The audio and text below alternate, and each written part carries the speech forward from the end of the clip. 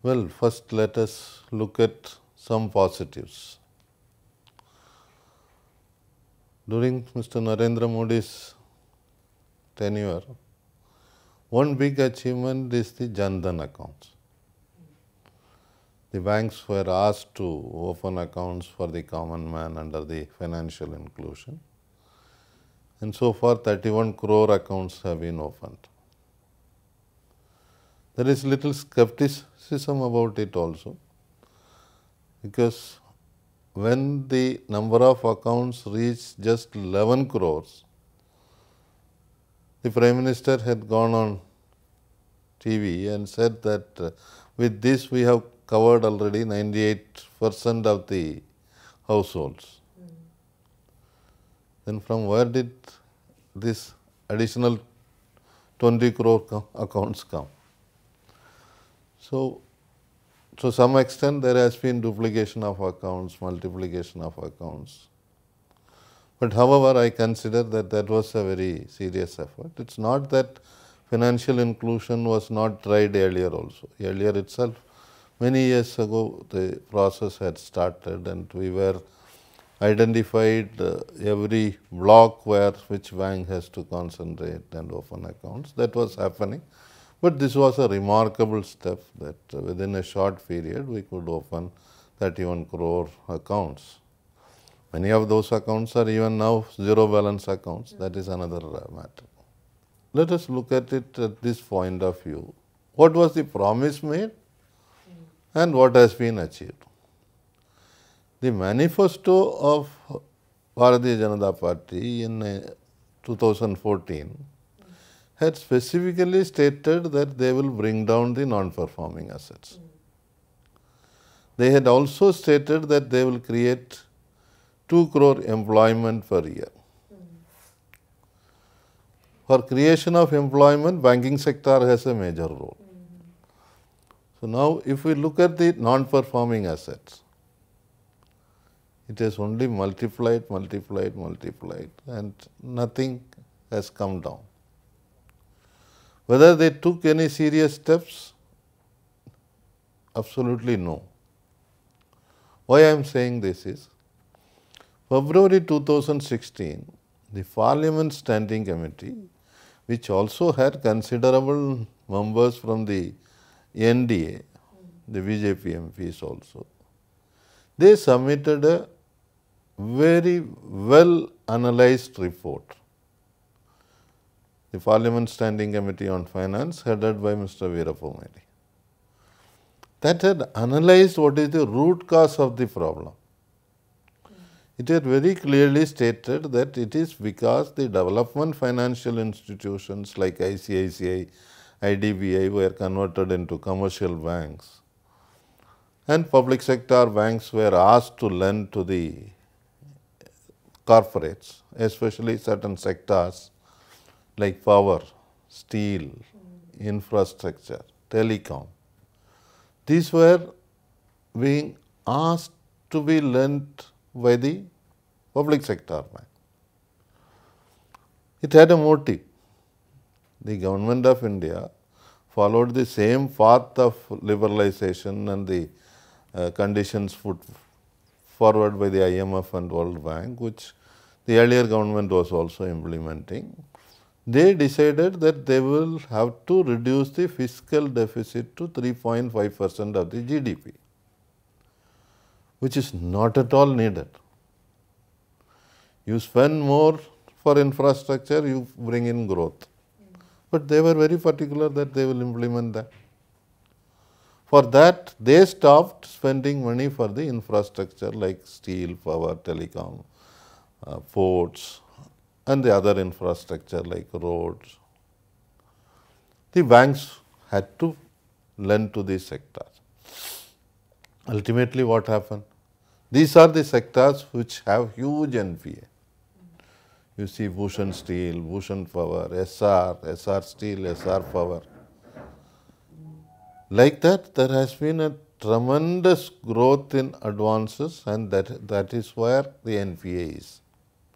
So, the Parliamentary Standing Committee had recommended that let these loans be taken over by the Industrial Finance Corporation, which is still a development financial institution. They did not do that. There are 14 recommendations. Not even a single has been implemented. They have questioned about the role of the board of directors, role of the MDs in giving these large loans, the role of the RBI director in the board, the role of the finance ministry representative who is in the boards of the public sector banks. Nothing has been done.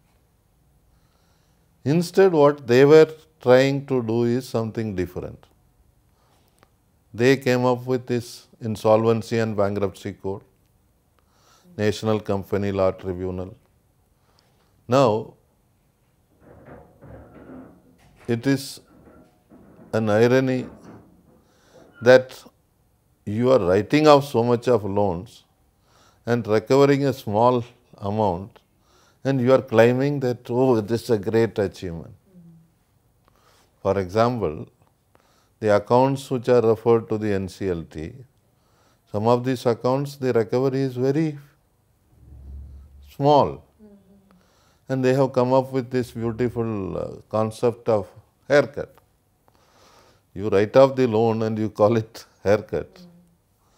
You are thinking hundred times to write off a loan for a farmer, write off a loan for a trader, a small industries, uh, a youth who has tried something through this startup. There we are so very particular that no, no, no, recovery is very important. Whereas here in the IBC recommended cases, the NCLT cases, you are giving a huge haircut. In my analysis, what is really happening is you are helping two people in one insolvency proceeding.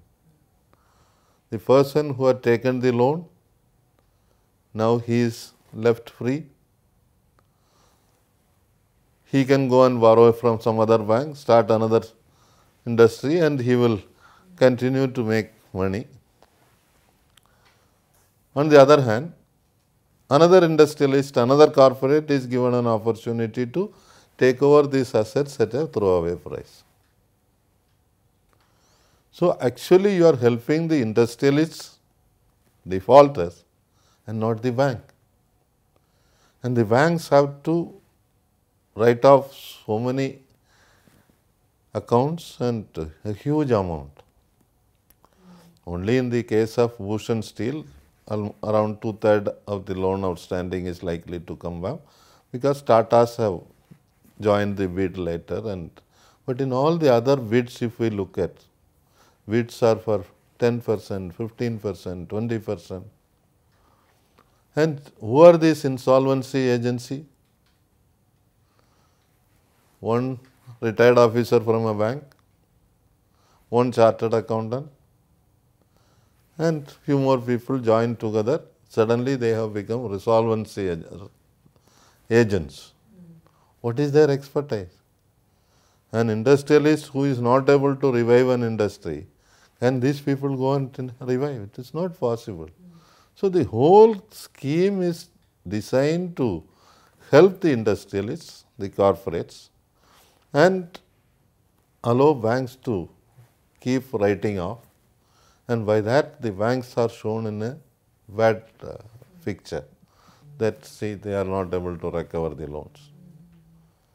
We gave so much of opportunity, they are not in a position to do anything. And that is a step towards privatization. So, to sum up, in the case of non-performing assets, the government has miserably failed. Now, coming to the other reforms which they have been doing in the banking sector. They came up with this new idea of Gyan Sangam. That is supposed to be the roadmap ahead for the banking sector for future. The first uh, Gyan Sangam was in 2015 January at uh, Pune, where the Prime Minister and the Finance Minister both attended addressed all the MDs and uh, senior executives of the banks. What they did? they only announced speeding up of what the earlier government was doing. There was a committee called the PJ Nayak Committee, which had recommended on the lines of the same previous committees like the Narasimham Committee and uh, even Raghuram Rajan Committee, which were recommending towards privatization of the public sector banks, reduce the government shareholding. The same PJ committee which was constituted by Mr. Chidambaram, that recommendation has been implemented by Mr. Modi and Arun Jaitley now. And from Gyan Sangam 1 to 2 to 3, whatever they tried, it has not helped to restore the banking sector. Banking sector, they said that it will become a robust uh, sector, but you see practically it is going down. And in the last three years alone, they have written off 2 lakh 41,000 crores. This is shared in the parliament itself. This 2 lakh 41,000 crores, why the government and RBI is not willing to disclose even the names of these defaulters? Loan is written off. Banks have lost huge amount. What is wrong in publishing the name of these defaulters? They will go and borrow again from another company, another bank. Because the bank will not know that this fellow has been a defaulter. So this is an, uh, a very, uh, that uh, Gyan Sangam concept has helped to further deteriorate the banking situation. Then they came up with this demonetization. The trust the people had in the bank was lost. Because of money which I am putting in the bank, I am confident that the moment I want, I should get it back. But people had to stand in queue, they were rationed money, they were not given money in the time. Officers and employees of the banks, they died during this period of demonetization. Even common man standing in the queue, they have died, it has come out in the paper. Not even a single rupee as compensation was paid for them and what was their promise and what has been the reality. They said that with this black money is going to be brought in, corruption will come down, the counterfeit currencies will cease to exist. Then later on they included that digital banking will progress. Now why the government is not ready to come out with a white paper on what was the result of demonetization. We have done some studies. The entire economy was affected, especially the small traders, small industrialists, farmers. Farmers, when they were ready with the harvest, that was the time demonetization was announced. So they could not sell their produce and get their dues. So it was a very, very bad impact on the economy and even now some of those industries which were affected are struggling. Many of them have died, closed down also.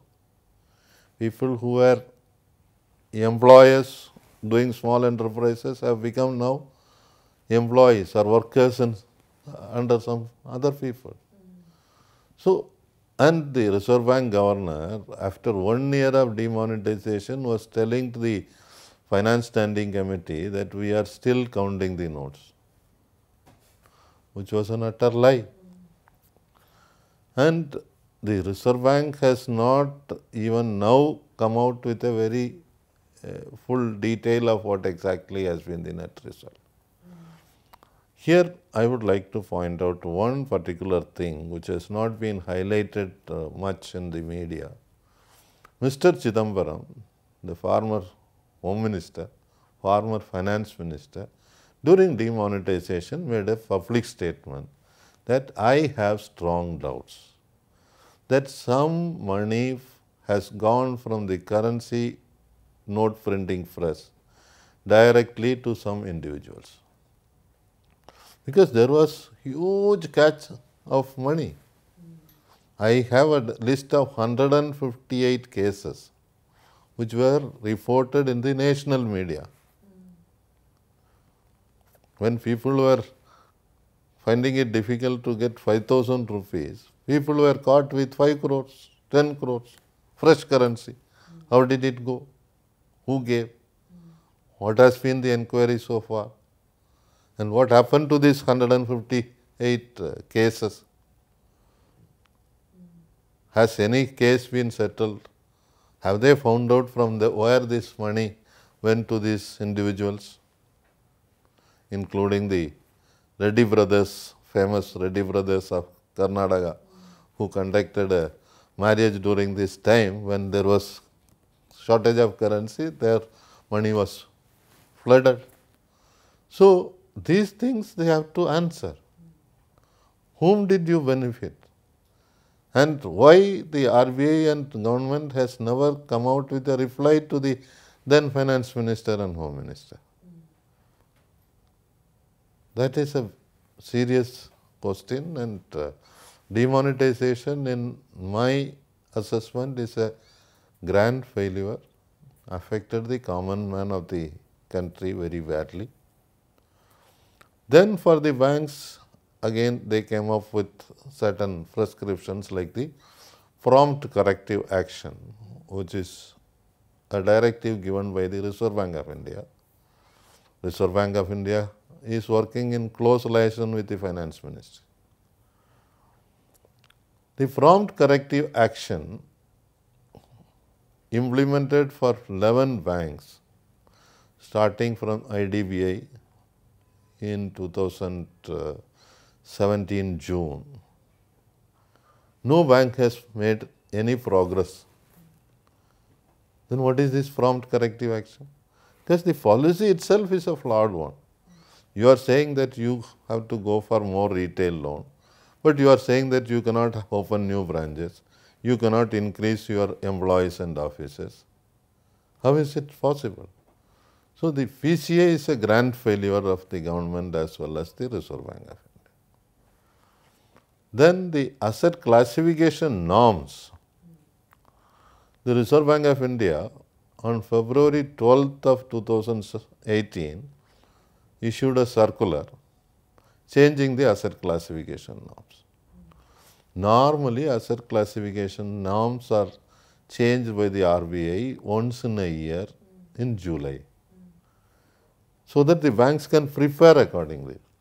Now, suddenly on February 12th, you are changing the norms, which has led to a situation that the banking sector NPA got tremendously increased because of the change in norms. They closed down all their restructuring schemes. They have made us announcement that even a one day default is a default. So the banks have to create a provision because of which the banks are making huge loss. This financial year, uh, so far 18 banks have announced their results out of which 16 have huge loss.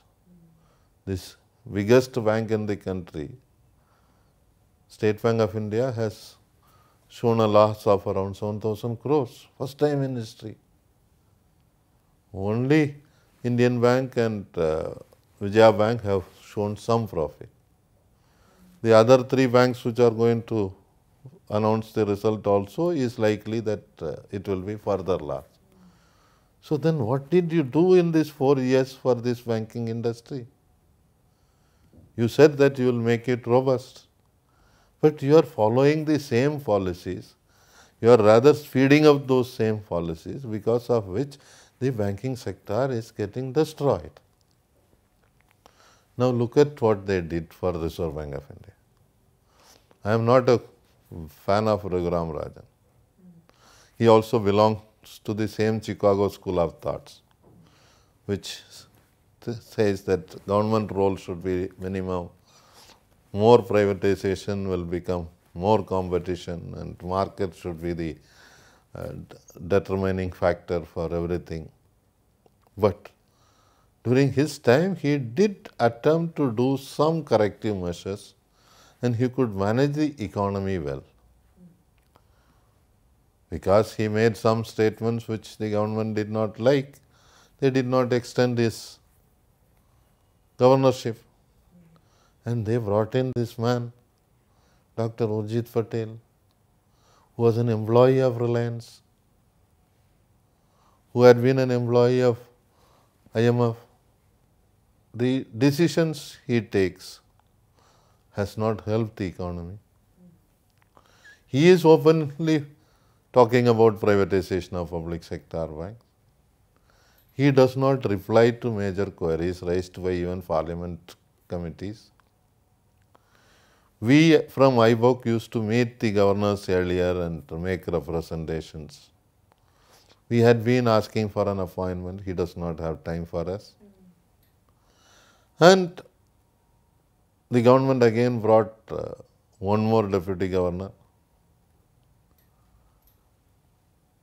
He is again a very well known protagonist of privatization. Now the entire RBI's policies are being moved towards privatizing of the public sector banks. This is a major flaw of the government. They should understand that without the public sector banks, they could not have opened the Jan Dhan accounts. They would not have handled the demonetization. They would not have succeeded in their pension yojanas they would not have. Now they are claiming that 9 crore uh, mudra loans have been given. Mm. Considerable number of them are given by the public sector banks. In spite of that, you just want to hand over these banks to the public the sector banks to the private sector. This is a total flaw. And the policies which they are implementing which are dictated by the IMF and World Bank, they are not willing to correct. Even their own uh, Swadeshi Jagran Manch, they are opposing these policies. The bank unions and associations which are affiliated to BMS, they are also critical of these same policies, but they are not willing to have a relook. Unfortunately, one thing uh, I see is that there is no feedback mechanism. They are not willing to listen to the others. See, they announced a turnaround plan for 11 banks. We came up with concrete suggestions. We prepared book, we prepared an Excel sheet where you can change the parameters and see what will be the net result of it we were asked to sign our unions and association to an MOU with the finance ministry itself and the management. We did it. But they have not taken any concrete steps on our suggestion. So now we are seeing that the, there has been earlier occasion, three banks, Indian Bank, uh, UCO Bank and United Bank of India were under stress and that time, the MS Verma committee came up with the recommendation that these banks should be closed down. But these banks became robust once again because there was a conscious effort of the government, employees and the management who worked together. Now we don't see that. The effort is more towards declaring the banks bad. Call the dog mad and shoot it. So say that you are not doing well, your NPA has increased, you are not able to bring, turn around the economy. So, the only way is to hand it over to the private sector and that too in a situation where the value of the shares will be so low, you compare to the assets each bank holds, this will be nothing.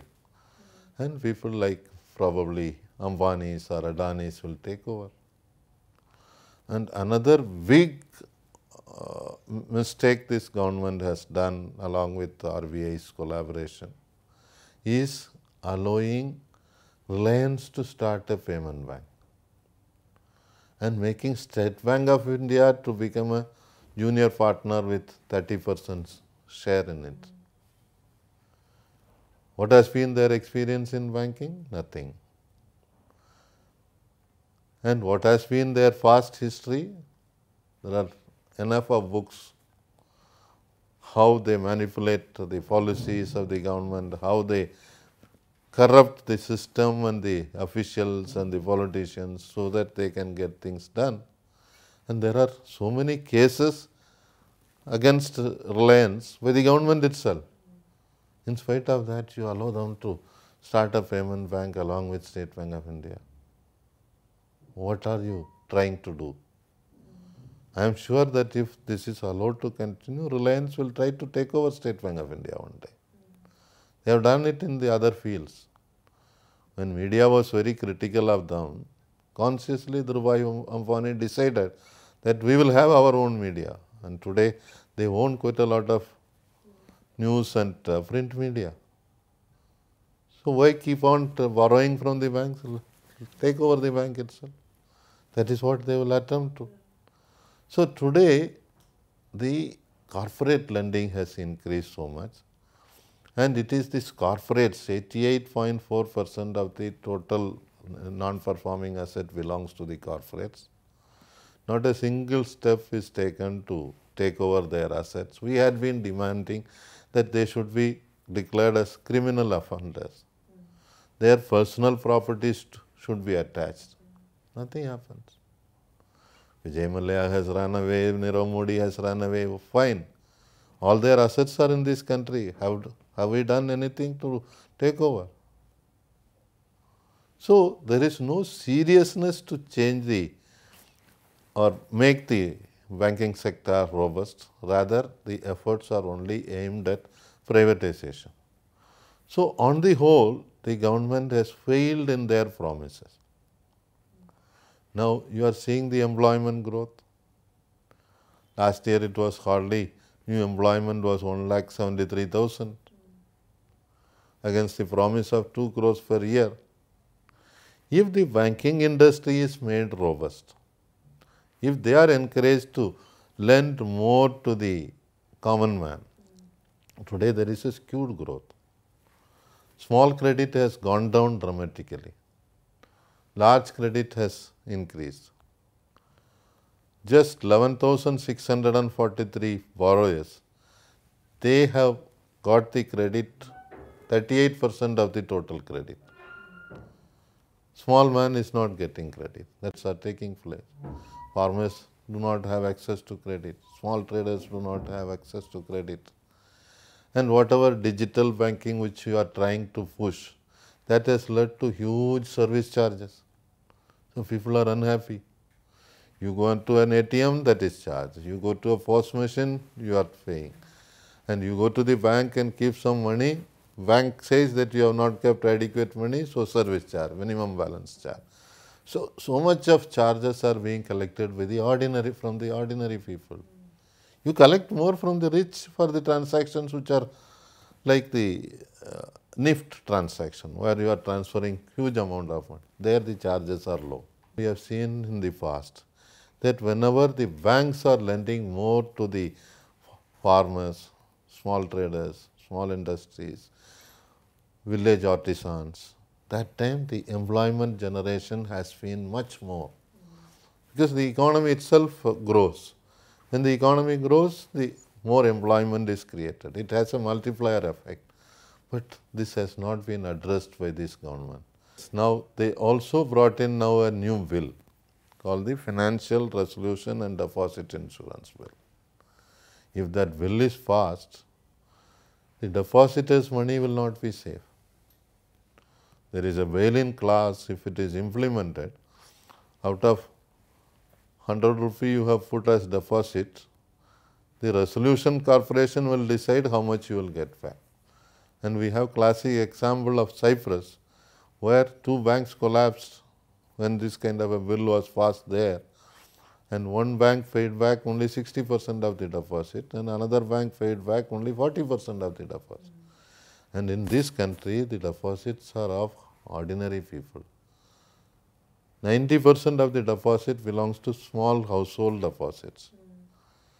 They have deposited with a great faith that I will get it back anytime I want. That faith is going to be lost. And they have brought in a class as liquidation class. So far in this country, no bank gets liquidated. RBI has powers to direct another bank to take over so that the bank's uh, entire assets are taken over, employees are also taken over and uh, the depositors as well as the borrowers' interests are safeguarded. That's why the people still have faith in the system. In spite of Nirav Modi scam, there was no run on the uh, Punjab National Bank. But during the 2008, there was a run on ICICI Bank. So people have faith in that public sector banks. Now you are bringing in a class called the uh, liquidation class. This will lead to loss of faith in the banking system itself. So the entire system will collapse. And this FRDI bill, they are particular to pass it and with a lot of efforts from the public as well as All India Bank Officers Confederation, it has been delayed. We have made our presentation also to the Joint Parliamentary Committee. We will have to be on guard to see that this will is not passed. Then again, coming to the employees, officers and uh, staff, this government,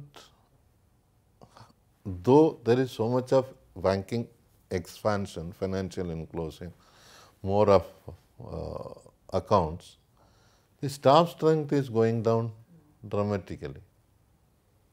Government should look at it. Even Reserve Bank of India, their staff strength has come down to almost 50 percent in the last six years. So their supervision has become weak. The public sector banks, similar thing is happening. And you are making regular jobs into contracts. More of outsourcing is happening. So assured employment is getting reduced and the wage revision for of the entire banking industry was due from 1-11-2017. Till now no settlement has taken place. So we are being forced to go on strike again and again. It is a failure of the government. Because which says that we are fast, we will do things in a uh, minimum government, maximum governance and all were the slogans. The government which is going to act, but nothing is acting. And uh, lastly, another big uh, issue is appointment of board of directors in the banks. Public sector, there is a mandatory legal provision that you should have a representative of officers association and employees. Every bank will have two directors in the board who will represent the officers and employees. After this government came to power, they have not appointed new.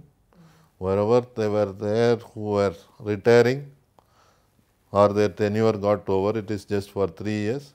And after that, this government has not appointed people, though recommendations have gone from the association, recommendations have gone from the individual banks, and finance ministry has also put up the recommendation to the PMO. This is the information the, the finance ministry has shared with us. The files have been sent to the PMO, but it is not clear then what is the question, where is the question of uh, transparency? See, these directors, um, representing officers, employees, they have a watchdog role. They may not be able to influence the policies of the board, but they have a critical role, watchdog role. So, they will look at the large advances, they will look at the large write-offs. They do not represent only the HR issues. This is another big flaw of this government. Even the law of the country you are not respecting. you are not implementing. So, on the whole the government uh, has been uh, against the public sector banks and they have not been doing adequate to take care of the banking sector as a whole because of which more and more banks are making losses and uh, there are efforts to privatize or even bring in more of foreign investors into the private sector banks. They changed the law. Now, the foreign investors can have up to 76 percent uh, share in our Indian banks, which are private sector banks. So, even ICICI bank now their shareholding is more of uh, foreign investors. So, we cannot say that it is really a Indian bank now, it is like a foreign bank. So, slowly even the private sector banks are likely to be taken over by the foreign investors and uh, the public sector banks they are trying to hand it over to the corporates who are the people who are responsible for the NPA, who are the people who are responsible for the deterioration in the economic growth of the country. This is going to be very bad. So, people should understand and let us see what happens in future.